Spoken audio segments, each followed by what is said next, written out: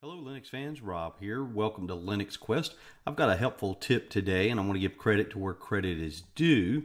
If you are running an Ubuntu based distribution, in this case, on this system, I have a Linux Mint set up, and you're beyond the 1804 into 19, up to I think 1910, and you have a USB speaker set up like I do, you could have a power save issue that causes the speaker to pop whenever you're navigating, say, into the browser or any other area of your OS that may use uh, the speaker.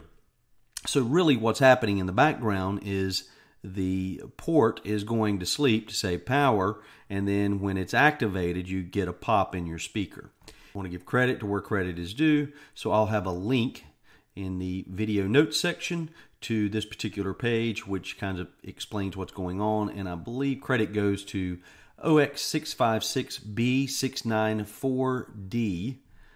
So what we're going to do, actually we'll run into documents here and pull this up just so you can see this. We're going to navigate as root to etc modprobe.d into the ALSA base config file and we're going to copy and paste in this case since we have the link and I'll put this of course, N the video notes section, into the page at the bottom, and then we're going to save and close. So uh, this will be an option section that will turn the power save controller off with the equals in. So uh, we'll move ahead with that. And within Linux Mint, if you're using Linux Mint and you have this issue, simply go into the system then we're going to open etc as root. It'll ask for your password.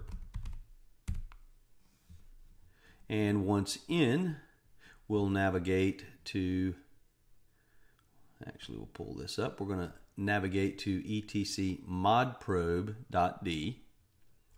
Then from there, you'll see the if you have the alsabase.config file. If not, I believe that you can create that um, config file and then copy and paste to the bottom